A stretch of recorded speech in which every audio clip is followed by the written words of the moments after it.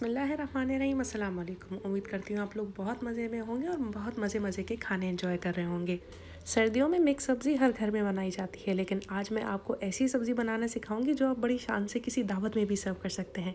इतनी मज़ेदार, इतनी टेस्टी कि आपके मेहमान आपकी तारीफ़ करते नहीं थकेंगे। तो चलिए शुरू करते हैं। ये आसान मगर बहुत टेस्टी रेसिपी जो घर में ही मौजूद इंग्रेडिएंट से बनाई जाएगी। तो सबसे पहले एक पैन में मैंने ले लिया है ऑयल तकरीबन क्वार्टर कप ऑयल में एक चौट प्याज को मैं करूँगी फ्राई फ्राई इतना करना है कि सॉफ्ट हो जाए। धीमे आँच में चमचा चलाते हुए इसको फ्राई कीजिए। सब्जियों की रेसिपीज़ में हमें ज़्यादा डार्क ब्राउन प्याज की रिक्वायरमेंट नहीं होती तो ध्यान रखिएगा, प्याज ज़्यादा डार्क ब्राउन ना हो जाए। थोड़ी थोड़ी देर में चमचा चलाते रहें ताकि नीचे भी प्याज ना लगे। और जैसे ही ये ब्राउन होने लगती है, साइडों से ये ब्राउन होना शुरू होती है तो आप अगर चमचा नहीं चलाएँगे तो वो डार्क होना शुरू हो जाएगी। जैसे ही इसने कलर चेंज करना शुरू किया, मैंने एक टीस्पून डाला है इसमें ज़ीरा, तीन छोटी वाली हरी मिर्चें चॉप करके इसमें डाल दी हैं और अब मैं चमचा चलाती रहूँगी यहाँ तक कि प्याज लाइट ब्राउन हो जाए। लाइट ब्राउन या थोड़ी सी उससे डार्कर शेड में जब आ गई तो इसमें मैंने डाला है एक चम्मच लहसुन अदरक का पेस्ट इसको भी तकरीबन दस पंद्रह सेकंड के लिए स्टर करूँगी ताकि लहसुन अदरक का कच्चापन थोड़ा दूर हो जाए। इसके बाद इसका कुकिंग प्रोसेस स्टॉप करने के लिए इसमें डालूँगी दो टेबल स्पून के जितना पानी। अगर पानी यहाँ पे ना डालती मैं तो सारा मसाला डार्क हो जाता और हमारी जो डिश है उसका कलर ख़राब हो जाता। यहाँ अब जो मेरे पास हार्ड वेजिटेबल्स हैं, जो गलने में टाइम लगाएँगी, पहले मैं वो डाल रही हूँ, जिसमें एक कप मैंने डाली है गाजर, एक कप आलू ले लिए हैं, वो डाइस करके डाले हैं और उसके साथ ही एक कप मैंने मटर इसमें डाल दिए हैं। सब्जियों की क्वांटिटी आपके ऊपर मुनहसर है, आपको जो सब्ज़ी ज़्यादा पसंद हो आप ज़्यादा डाल सकते हैं, जो ना पसंद हो वो आप इसे ओमिट कर सकते हैं। तो यहाँ सब्जियों को मैं अच्छी तरह से चला रही हूँ ताकि इसमें मसाला बहुत अच्छे से कोट हो जाए और तह में मसाला ना जले।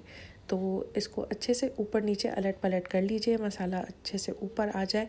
तो अब इसमें डालेंगे हम ड्राई मसाले। सबसे पहले मैं डाल रही हूँ नमक, आप हंसपे जायका ले सकते हैं। मैंने एक टीस्पून की जितना नमक इसमें डाला है।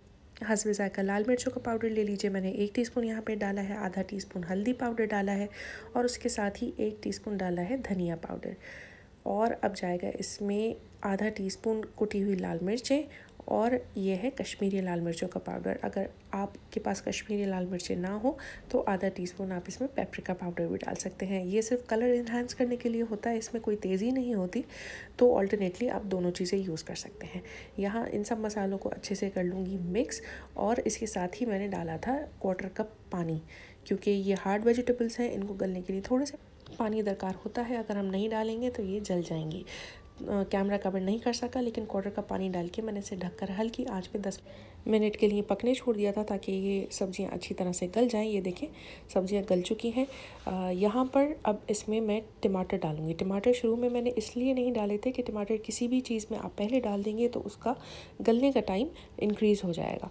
तो ये देखिए, दो टमाटर मैंने मिक्सी में पीस लिए थे। आप बारीक बारीक काट के भी डाल सकते हैं।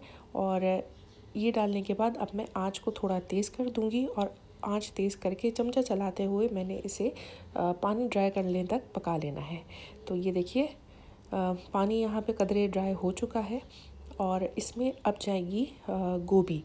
गोभी एंड में इसलिए क्योंकि ये जल्दी गल जाती है, अगर आप शुरू में डाल देंगे तो बिल्कुल मैश हो जाएगी और एक ग्रेवी किसी शक्ल इख्तियार कर लेगी। तो हमें साबुत साबुत चाहिए तो इसे हम एंड में डालेंगे और इसके बाद जो फ्लेवर इन्हांसर्स हैं हमारे जो गेम चेंजर्स कहलाते हैं वो इसमें जाएँगे। गोभी को भी डाल के मैं आ, मिक्स कर रही हूँ अच्छे से ताकि इसमें मसाला कोट हो जाए और ये बिल्कुल भी आ, फैमिली से अलग ना लगे। अच्छी तरह से इसे अलट पलट लीजिए, सब्जियों को ऊपर नीचे कर लीजिए, लेकिन हल्के हाथ से, क्योंकि बाकी चीज़ें गली हुई हैं उनको हमने तोड़ना नहीं है। तो ये जब मिक्सिंग हमारी तरीके से हो गई तो इसमें एक हीप्ड टेबल स्पून मैंने डाला है क्रीम का। आप चाहें तो घर की ताज़ी बलाई भी यूज़ कर सकते हैं।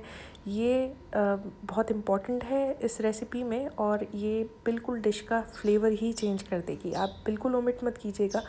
इस तरह से ट्राई करके देखिएगा, आपको बहुत मज़ा आएगा। चार से पाँच हरी मिर्चें डाल दी हैं मैंने साबुत, ताकि अगर किसी को तेज़ मिर्ची रिक्वायर्ड हो तो वो इसे तोड़ के खा सके।